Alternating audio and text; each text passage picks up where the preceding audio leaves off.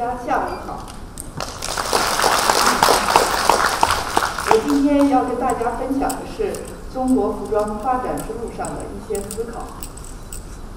中国是一个有着巨大的消费群体以及产业量规模巨大的这么一个国家，然而却很少有鲜为人知的品牌在国际市场上有较强的竞争力。那么，我们真的没有？真的没有具有品质感和生命力的产品和品牌吗？为什么我们还要去买别人的马桶盖，买别人的奶粉？难道我们没有有激发生命力的东西可以维系我们未来的品牌之路的发展吗？我们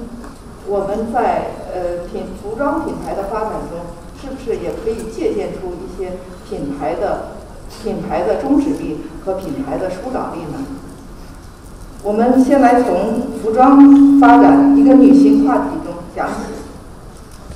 我们可以看到，在八十年代初期，呃，我们中国呃也在世界范围内，嗯，受世界范围的影响，我们有了一种形式，一一一种叫倒三角的服装的形式。这个倒三角服装的形式。从戴安娜王妃一直到美国的泡沫肥皂剧，都在应用的这个形式。那么这个形式深深地影响了中国，然而它的背后却有其深刻的原因。在七十年代和八十年代这个时期，在德国的女性女女性呃走入工作岗岗位之后，发现她们和男性的地位有着悬殊的差别。于是，他们想通过用服饰的这种形体，成争取他们的地位，用服饰的这种装扮，获得他们应有的这种权利。那么，在中国八十年代时期，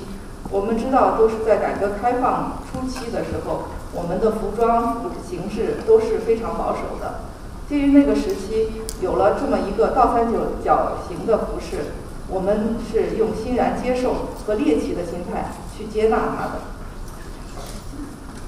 那么它的背后就是关于女权与平等这样的一个关键词。衣饰品和人文属性属性之间有着强烈的某种关系，这种关系也支撑了这种服装产业能够走向它的规模化，而获取人们去购买能力的一个主要的推手。无论是倒三角形的服饰折装的装扮形态也好，还是我们对它的接纳也好，它充分说明了这种服饰背后女性需要获得自强、自立和自信的一种特征。而我们在八十年代的时候，是用一种接纳和被动，或者说叫被动接纳的这种心态来获取这种形式的。我们再来看一个关于塑形性服装的，呃，就是它的流行。呃，在塑形性，所谓塑形性的服装，是把衣服的裁片，呃，用这个立体的方式，呃，就是拼接在人体的衣服上，有人体的形态上。那么有的时候，这种形式呢，会用立体裁剪的方式。那么它所带来的这个塑形呢？是具有立体和干练的特征，比如在早期的西方的女性，呃，已经采纳了这种服饰形式，包括后期的有一些西装的形式，也都流入到大陆的或者是我们呃呃我们这个女性主体的服装潮流当中。我们可以从图片依然看看得出，这种服装的形式也流一直流行到当代的婚纱。或者是我们中国的一些职业装，我们中中国的职业职业装中一直延续到现在。那么我们实际上是一种从西方被动接纳，那么主创体是西方的这么一个体制。那么缺少产品的背后，呃，我们缺少这个品产品品质的发展，它的背后也大大存在于因为我们缺少对人文属性的这种研究。然后我们真的缺少主创能力和品质的能力吗？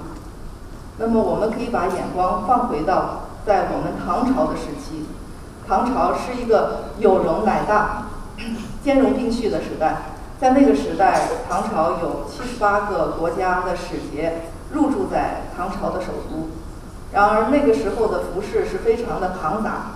但是唐朝就是一个这样的国度，它可以把任何有各种服饰特征的呃体制和形制消化溶解，最后变成它自己的语言、自己的民族的特征。这个也充分说明了我们有这样的能力，有这样的思想为背景，有这样的人文的属性，可以去归纳这种特征，可以去获获取自己独立的。或者具有主创能力的服饰的能力。然后我们再回到古罗马时期，在古罗马时期，我们可以呃知道有一个叫禁奢令，这个禁奢令实际上是当时古罗马的很多贵族，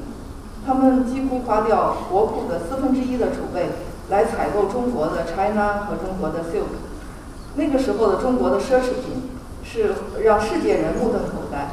所以这也说明我们是具有这种品质的生产能力，具有这个品质的主创性。那么我们中国在大多数时期，呃，尤其是零零年之后，大量的采购这个奢侈品，国外的奢侈品，呃，国外的有一些品牌也深为我们所知。然而中国有多少人知道我们中国有多少服装品牌呢？这个几乎是很少的。我们中国的服装品牌不为我们自己的国人认知，也有种种的原因，也有我们对于品牌属性探究或对于自身文化的研究缺少一种主动性或主创性的原因。我们我们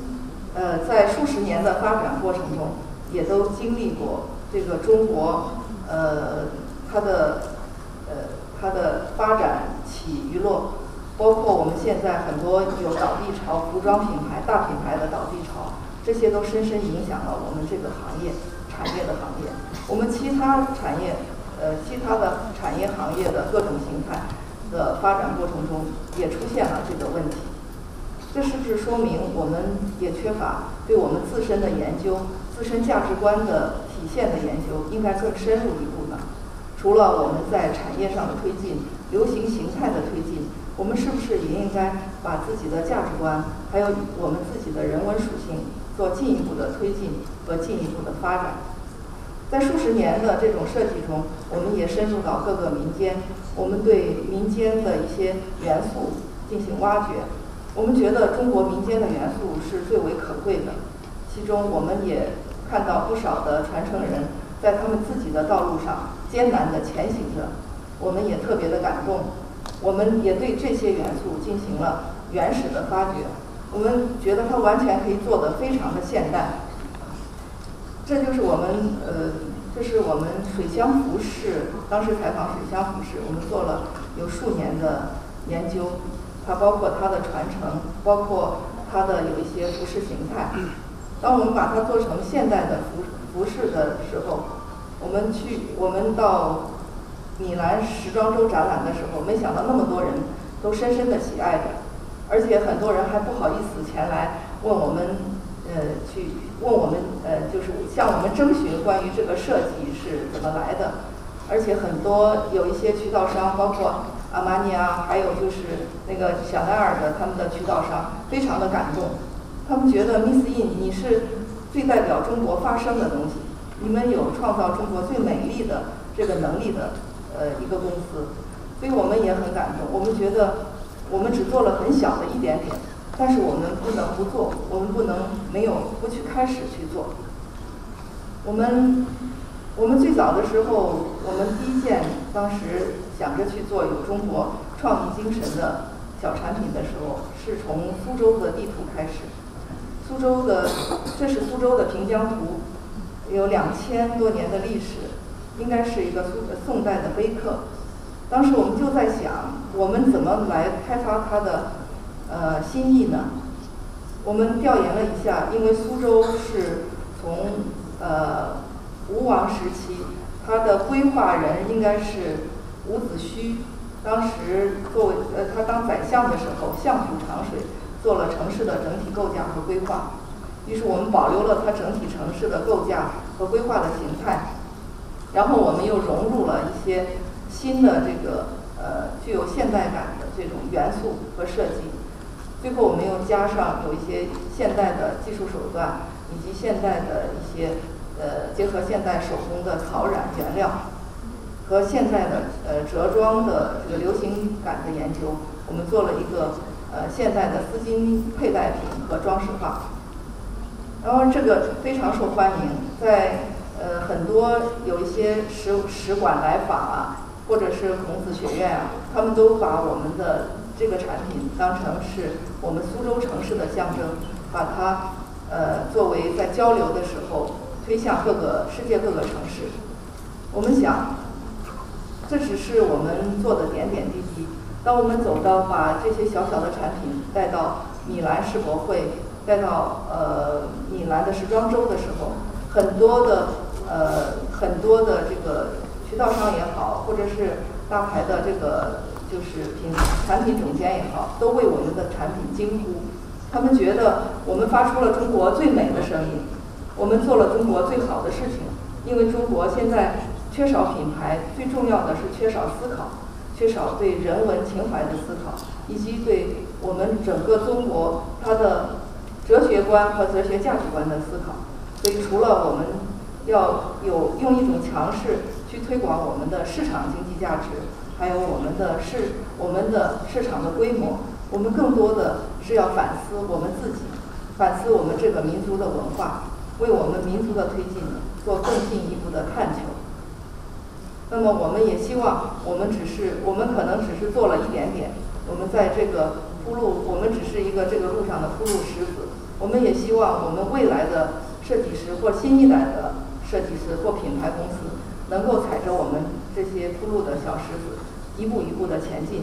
我们要发出中国的声音，我们最终要做出中国最好的品牌。我们也要在传统的继承和发扬上做进一步的探究。谢谢大家分享。